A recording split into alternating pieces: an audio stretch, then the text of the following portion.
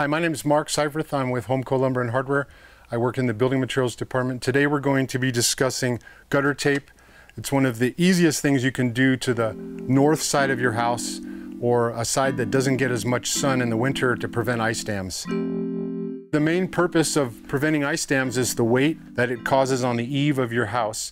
It also can, can creep water back underneath and drip down in the house and cause pretty severe issues if that ice is always there. And so you want all that water flowing away from the edge of the house, away from the roof, and not coming back into underneath the shingles and down into the house and causing damage. Uh, we sell tape in a variety of different sizes. The biggest thing you're gonna need to do prior to is figure out how much tape you need. There is a formula that's on the box that tells you, based on your roof overhang, how many inches and how many multipliers to divide that out or times it out into the number of feet. For instance, if you have an 18 inch overhang on your roof, you would use a multiplier of 4.7. So you would take your linear feet of your roof, times that by 4.7, and that would give you a pretty good idea of how much tape you'd need to buy.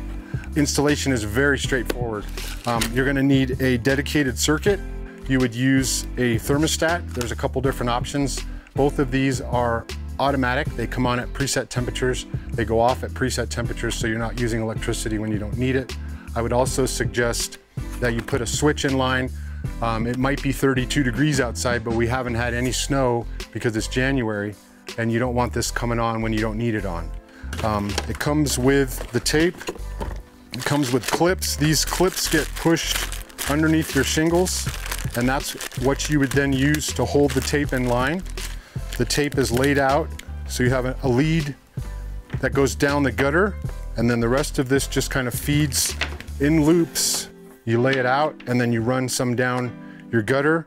You can also run some down into your downspout, and then this would plug in to your thermocube, thermocoupler, thermostat, and then that would plug into your GFCI, and you're good to go. Um, replacement clips are available from HomCo if you have clips that go missing. Sometimes when you're using a roof shovel or a roof rake to pull the snow off, you can pull these clips off. I would make sure that every summer when you're back on the roof looking at it after the winter to replace these clips before the winter comes and that will keep the system up and running.